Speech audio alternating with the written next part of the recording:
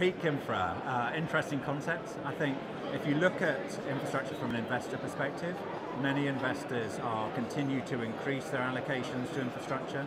There are still a vast number of investors, both smaller investors and investors in markets such as life assurance, that have still to allocate to infrastructure. So I continue to see a flow of capital into the sector as the as the investor group community demonstrate their ability as good stewards of infrastructure assets.